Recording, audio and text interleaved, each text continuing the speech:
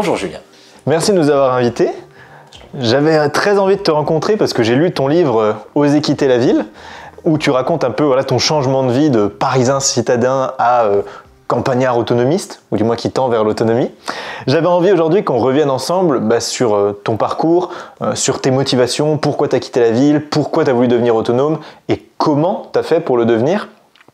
Et enfin, est-ce que tu l'es vraiment ou pas? C'est la question que tout le monde se pose. Au moins. Et pour commencer, je te propose qu'on on fasse quelque chose de simple. Est-ce que tu peux te, te présenter et euh, nous dire d'où tu viens? Qu'est-ce que tu faisais avant d'être ici? Alors à la base, euh, je viens de Paris. J'étais euh, le, le stéréotype du, du, pas du pas du parisien, je veux dire du, du francilien. J'étais prestataire dans l'événementiel à la défense. C'est très sympa au début, t'es jeune, tu vois tout ça, t'as la vision des films, les gars en costume et tout, tu dis ouais, trop bien et tout. Et en fait, j'ai vite fait le tour de tout ça. Et euh, je m'apercevais aussi que ce que je gagnais par rapport à mes dépenses, euh, bah, c'était assez disproportionné. Et que c'était de, de pire en pire avec les années. Donc une fois que j'ai posé tout ça, je me suis dit, mais en fait c'est super simple, ce qui me coûte le plus cher, c'est mon logement, euh, ma nourriture et mon énergie. Et quand on pose tout ça à plat, on se dit, ok, bah, on fait quoi? Et ben, j'ai décidé de m'extraire de l'offre et la demande à l'époque, ça fait déjà maintenant 5 ans. Et euh, quand j'ai cherché des solutions pour m'extraire de l'offre et la demande, c'était qu'il fallait euh, quitter la ville euh, et partir vivre à la campagne là où c'était moins cher.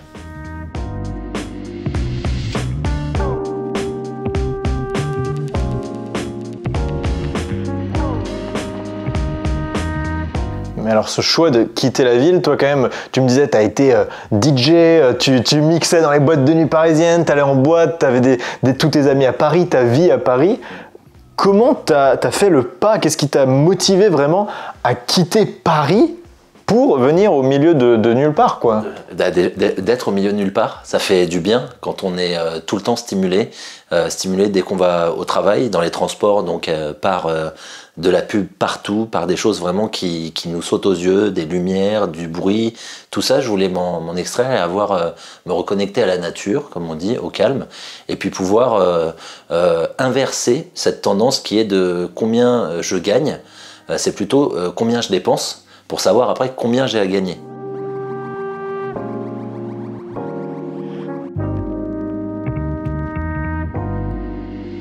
Mais comment tu oses passer le pas? Est-ce que c'est parce que tu as une famille qui t'aide? Est-ce que c'est parce que tu as un événement choquant dans ta vie? Qu'est-ce qui fait que tu fais le pas en fait? Quand euh, j'étais stressé et tout, je me suis dit, euh, ok, mais on change quoi et tout? Et je me disais, mais en fait, quand j'étais gosse, quand je suis en vacances dans le Tarn, la vie, elle est à la cool. C'est pas que parce que c'est les vacances, c'est aussi les, Je voyais les, les- autochtones, si je puis dire, les, les gens d'ici, je les voyais, mais beaucoup moins stressés. Et je me, je me disais, mais c'est naturellement la vie qui fait qu'ils sont comme ça, parce qu'ils ont une vie beaucoup moins stressante.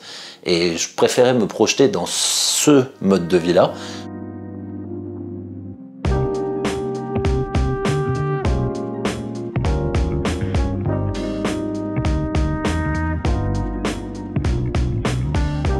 Je vais revenir un peu sur euh, comment tu as quitté la ville, comment tu as fait le pas, comment tu as osé venir euh, dans la nature après euh, bah, plusieurs dizaines d'années euh, en ville.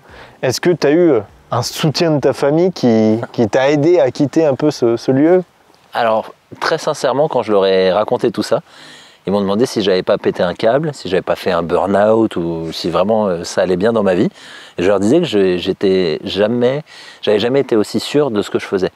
Parce que pour moi, j'allais vers quelque chose qui avait un sens. Avant, je le faisais bah, voilà, pour euh, remplir le frigo, pour euh, avoir un toit. Et comment tu as trouvé la, la force malgré la pression familiale et euh, de tes amis aussi? Tu dis dans ton livre que tes amis aussi t'ont- tu te prenais pour un fou, enfin qu'ils étaient pas en dans mode, six mois, on me. Voilà, que tu allais revenir à Paris dans six mois et tout ça. Comment tu as fait pour trouver la force quand même de partir alors que tout le monde te, te déconseille de faire ça quoi Euh, je me suis dit, le problème, c'est que les gens, ils se projettent avec leurs envies, leurs besoins Leur dans mon peur. projet, et surtout leur peur.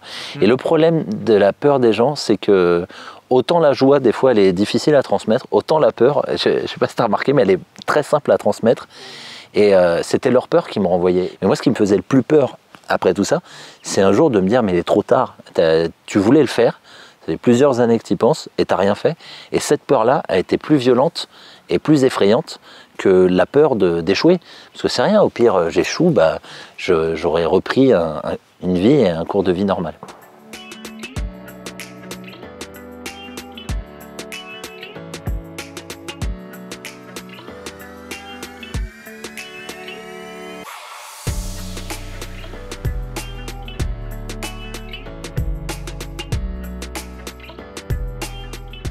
Comment t'en es arrivé à, quitter Paris et à tomber ici, à l'archipel?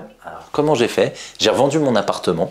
Euh, que je ne possédais pas puisque j'avais fait un, prêt sur 25 ans. Et une fois que j'ai revendu mon appartement et, tous les biens qui ne me serviraient plus euh, ici, euh, je me suis retrouvé avec un pécule de 38 000 euros. Et avec ces 38 000 euros, je suis retourné, mes parents venaient de s'installer dans le Tarn, je suis retourné chez eux, le temps de trouver un bien, et j'ai trouvé un abri de jardin, ce que tu vois ici, qui n'était pas à la base habitable. Ok. Et donc, tu en avais pour combien de l'achat de la maison, le terrain, tout l'ensemble? Le, terrain et la maison, 28 000 euros. Il y a beaucoup de gens qui venaient visiter ici, mais ils disaient, mais moi je peux pas vivre là-dedans. Sauf que moi je me disais, si, tu peux vivre là-dedans si tu fais quelques modifications. Et alors là, on se rend compte très rapidement que si tu es devenu autonome, c'est pas parce que euh, bah, ça te faisait kiffer, en fait, c'est parce qu'il n'y avait pas d'autre choix. Tu avais littéralement ah un abri de jardin au milieu de nulle part, euh, coupé des réseaux, et tu as été obligé de tomber dans, l'autonomie. Alors oui, obligé, mais c'est aussi parce que c'était dans cette configuration-là que personne n'en voulait et que j'ai réussi à avoir un terrain pas cher du tout. Parce que ça a été visité, il y a des gens qui, euh, étaient curieux, qui voulaient l'acheter, et quand ils ont vu vraiment bah, qu'il y avait beaucoup d'investissements et personnel, parce qu'il fallait apprendre l'autonomie, comment on branche des panneaux, des choses comme ça.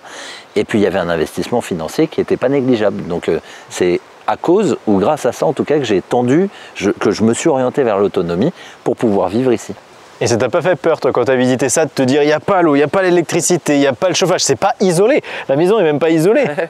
bah, euh, je, te, renvoie ce que, ce que je t'ai dit tout à l'heure, c'est que j'avais pas beaucoup de sous, c'était la seule chose que je pouvais avoir.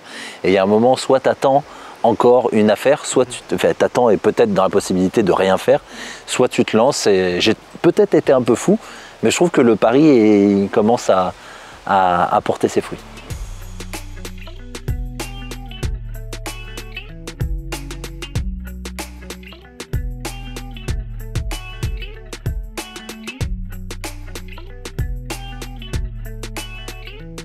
On a vu que ce lieu, il t'a forcé à devenir autonome parce que tu n'avais pas d'autre choix, économiquement parlant.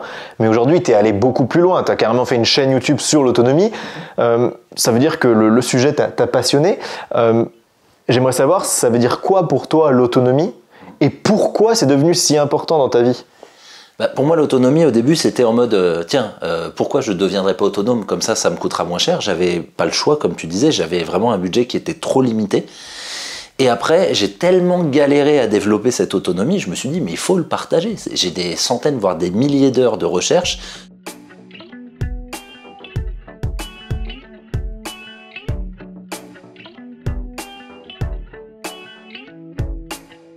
Mais c'est juste, à un moment, si tu te retrouves face à un choc, à un truc, euh, une rupture de la normalité, j'aime bien le mot parce que c'est moins effrayant, une crise, euh, qu'est-ce que tu fais Si un jour l'électricité donc des fournisseurs est coupée, bah tu peux plus rien faire. Que moi, si un jour c'est coupé pour tout le monde, et c'est ce qui s'est passé, il y a eu des inondations dans l'Aude il, y a quelques années, et dans le coin et surtout dans l'Aude, ils étaient tous déconnectés des réseaux pendant quelques jours, et c'est assez effrayant. Mais moi, avec ce système-là, j'aurais pu continuer. Donc pour toi, l'objectif, c'est pas vraiment l'autarcie, genre je produis tout, tout, tout ce dont j'ai besoin, c'est plutôt la résilience. S'il y a un problème, j'ai une assurance pour me relancer plus facilement. Et, donc, c'est pas grave si tu n'es pas autonome aujourd'hui parce que tu as euh, plein d'assurances de partout qui te permettent de le construire sur des années. Alors, par exemple, euh, quelque chose qui est flagrant, c'est euh, quand je me suis dit, bon, maintenant que j'ai l'énergie, je vais essayer de, développer la nourriture. Et quand j'ai commencé à regarder l'espace qu'il faut si on veut devenir autonome, ça c'est la chance que j'ai eue grâce à la chaîne d'aller chez des gens, ils ont des hectares. Donc moi je me suis dit, mais en fait tu seras jamais autonome euh, en nourriture ici. Donc je dois euh, trouver des systèmes pour que mon sol il soit fertile et qu'il puisse me nourrir. Il me nourrira pas à 100%. Mais par contre, maintenant, j'observe, je regarde ce qui pousse le mieux. Et ce qui pousse le mieux, je, je le plante x 10. Comme ça, j'aurai une monnaie d'échange pour pouvoir avoir les choses que j'arrive pas à avoir. Et voilà comment je vois l'autonomie. L'autonomie, je le vois plutôt comme euh, créer quelque chose qui te permettra de tisser un réseau de besoins. Trouve quelque chose qui pourra t'intégrer socialement dans le tissu social et qui te permettra de pouvoir te nourrir.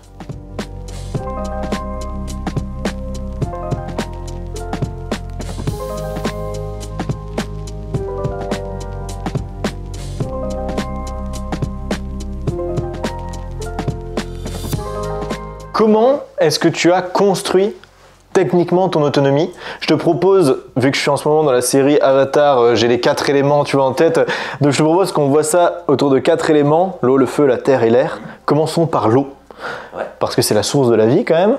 Comment tu as fait pour l'eau ici? Comment tu as construit ton autonomie en eau à l'archipel?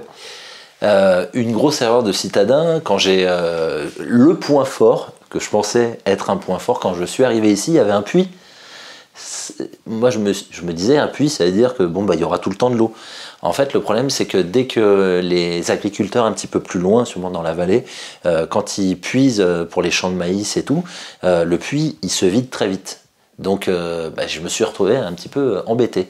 Donc en fait, euh, le meilleur moyen d'avoir de l'eau, c'est de la collecter et de la collecter quand ça tombe. Et tu stockes dans quoi l'eau de pluie? Euh, Dans une cuve de récupération d'eau pluviale en béton. Alors ça, c'est vrai que c'est quand je oh c'est pas bien. C'est pas écolo. Ah c'est pas écolo. Souvent, l'eau, quand elle tombe du ciel, elle est un peu acide. Et le béton, il désacidifie naturellement par ses propriétés. Il désacidifie un peu l'eau.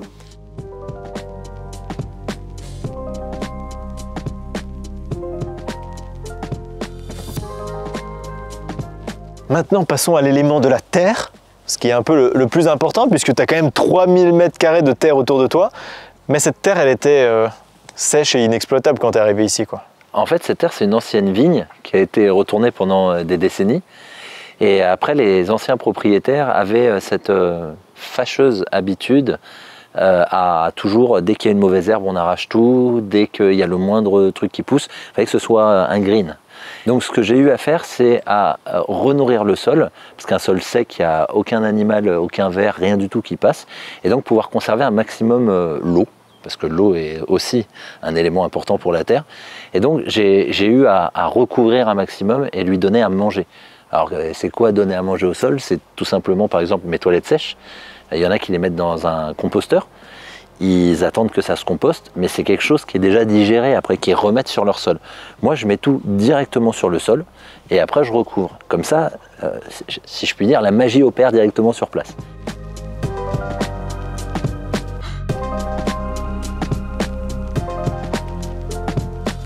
Je suis allé euh, dans la nature, pas pour une, enfin en forêt, mais pas pour une balade. J'y suis allé juste en me disant, attends, la nature a fait bien les choses, je vais pas faire l'humain de base qui veut tout, tout, tout gérer comment ça marche. Et quand tu arrives, le sol, il est bon, le sol, c'est, il est spongieux. Tu sais, tout à l'heure, on marchait, je te disais, tu as vu, quand on marche, c'est pas dur. Là, là, il est dur encore, parce que là, il y a, y a, du boulot. Par contre, tu marches sur les, les, zones de culture que je suis en train de créer, bah, à force de mettre de la matière et de recouvrir, et, et bah, ça garde l'eau. Et là, c'est, très spongieux. C'est très, euh, tu sens que les racines, elles pourront aller euh, chercher euh, ce dont elles ont besoin.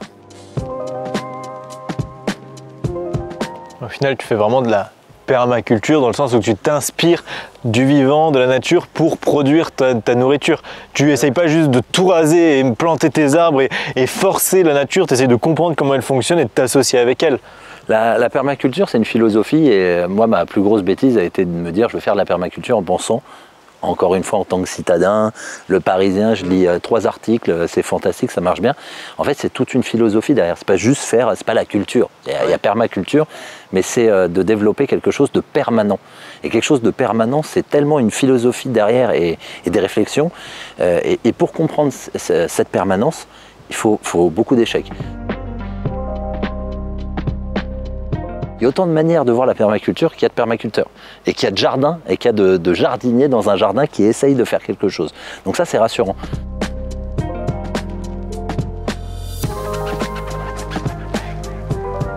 Maintenant, on peut voir le feu. Le feu. Et le feu, c'est tout, ce qui, tout ce qui se passe ici en comment tu te chauffes, comment tu as ta production électrique, euh, comment tu as aussi, qu'est-ce que j'ai noté, euh, bah, ta lumière. Donc voilà, bon, tes vérandas, tes fenêtres. Est-ce que tu peux nous expliquer un peu voilà, comment tu gères tes. Le, point de chauffe en électricité, c'est quelque chose qui consomme énormément d'électricité. Euh, par exemple, en hiver, c'est un truc euh, très bête, mais en hiver, j'ai eu un poêle, euh, je me suis acheté un poêle, je mets de l'eau dessus et euh, je me sers de, la chauffe du poêle pour avoir de l'eau toujours tiède ou chaude euh, pour m'en servir soit pour une infusion, soit pour prendre une douche. Moi, je me douche au godet. Pourquoi au godet? Parce que j'économise et de l'eau, j'en utilise pas beaucoup, et qu'un godet, c'est moins difficile à chauffer qu'un gros euh, ballon de 30, 20, 30, 40 ou 50 litres. Donc là, j'ai une cuisinière à bois qui va me permettre de faire, c'est un tout en un, une action te permet d'en faire cinq autres. Donc là, pour la chauffe, c'est fantastique ça.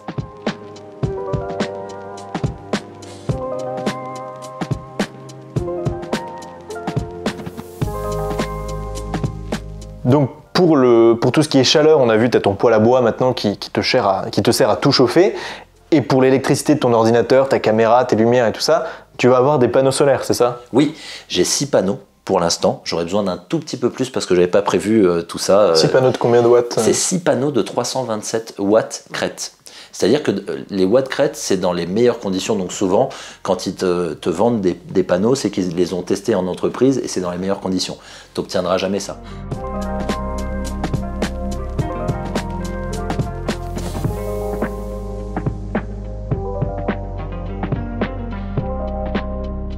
Et le dernier élément, l'air. J'ai vu que tu avais une petite éolienne. Est-ce que ça te produit vraiment quelque chose? Euh, Alors l'éolienne, c'est un, un prêt. C'est, enfin, c'est, on, on me l'a fait tester, mais très honnêtement, si j'avais eu à l'acheter, euh, je l'aurais renvoyé. Si j'avais pu, je l'aurais renvoyé. J'ai dit non, je préfère avoir plus de panneaux.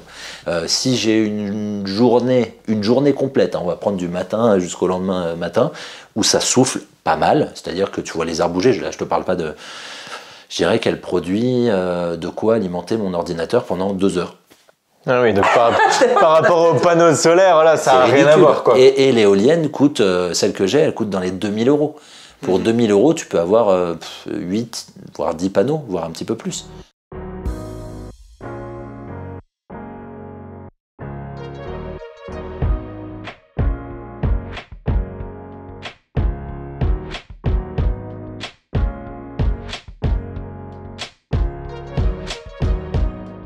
Alors si on fait une synthèse un peu de tout ce qu'on a vu, euh, tu, pro tu, produis toute l'eau que tu consommes, je, je... tu produis toute l'électricité que tu consommes, la nourriture pas encore, euh, tu, pro voilà, tu produis ton chauffage, enfin, tu es quand même autonome sur pas mal de choses, euh, mais ça représente quoi? Tout ça, ça a coûté de l'argent. Oui. Donc commençons cette dernière partie avec ton autonomie face à l'argent. Mmh. Qu'est-ce que tu fais? Est-ce que tu es au RSA Est-ce que tu es payé? Est-ce que tu vois, est-ce que tu as toujours des rentrées d'argent pour financer ton autonomie? Ou est-ce que tu as réussi à te libérer de l'argent pour être autonome? En fait, la, la, chance que j'ai eue sur ce projet et euh, les gens qui sont au RSA et tout, euh, je, je, respecte vraiment leur choix parce que c'est comme tu dis, il y a des gens qui font euh, ces sessions qui disent bah, le peu que je gagne, c'est pour payer ce qu'on me taxe sur la TVA, etc. Mmh. Moi, le fait d'aller voir les gens, ça m'a nourri pas nourri, euh, ça m'a nourri intellectuellement et ça m'a aidé à avancer mon, mon, projet à une vitesse folle. Pas, je peux pas aller plus vite que, que, la nature, mais en tout cas, je sais déjà maintenant par rapport à mes erreurs, pourquoi ça a fonctionné chez les autres. Ça m'a énormément plu. Et le fait de partager ça en vidéo, une belle rencontre, un apprentissage, et en plus de ça, le fait de le partager, j'ai la chance de pouvoir en vivre. J'arrive à en vivre parce que je vis ici, sur ce mode de vie. Un citadin ne pourrait pas faire ce mode de vie, je pense que ça lui coûterait trop cher.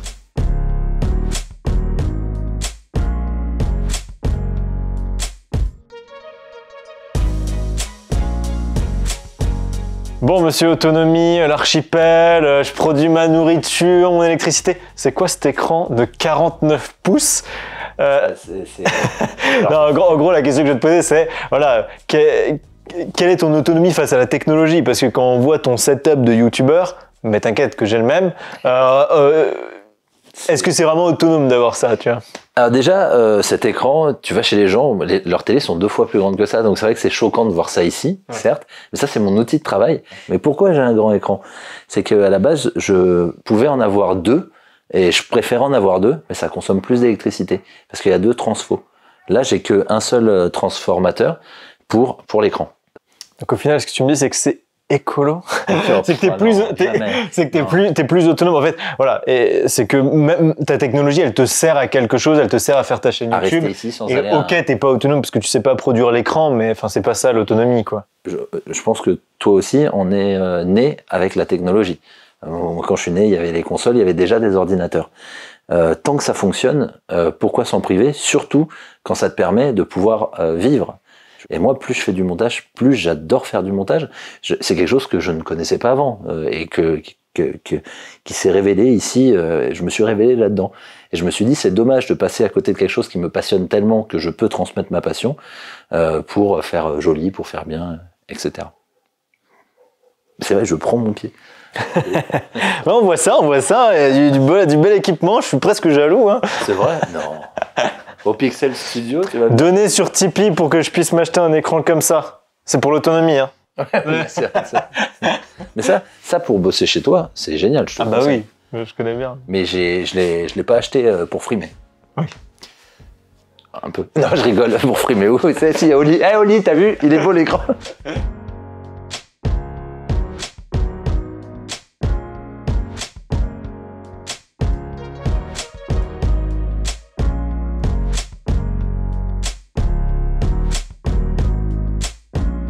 Quand tu quittes la ville, que tu te mets à la campagne, tu fais un peu une croix sur la vie sociale, euh, les rencontres amoureuses. Comment est-ce que tu as réglé ce problème? Alors je pense que maintenant ce sera moins un problème parce que on vit un mini exode urbain qui va, je pense, s'intensifier avec les années. Donc on trouvera des gens qui euh, viennent de la même base, du, du- qui ont eu le même schéma au début et qui veulent euh, changer. Moi, euh, quand je suis arrivé ici, la première chose que, que bah, après on trouve bien quelque chose, faut sociabiliser et tout. je suis allé sur des foires, des associations et la chose qui, qui m'a le plus marqué, c'est que par exemple dans ma ville, il y a plus d'associations alors que c'est une ville de beaucoup moins de 10 000 habitants, que dans ma ville, euh, mon ancienne, euh, où il y avait 100 000 habitants. Et je me dis, déjà, rien que là, on a des, des pensées de citadins, mais qui sont euh, aux antipodes. En fait, il y a une vie sociale. C'est ça, oui, le- évidemment. voilà, c'est ça. C'est genre, en tant que citadin, on se dit, waouh, la campagne, est tout seul, paumé. Je- Mais non, il- les gens, ils se parlent, ils font des Ah, choses, quoi. À la campagne, il y a une vie, évidemment. Euh, tu, bah, je connais mes voisins. Avant, je connaissais aussi mes voisins, mais c'était un bonjour au revoir. Là, c'est un bonjour au revoir. euh, on fait la fête des voisins et tout. Enfin, on fait des trucs, tu vois.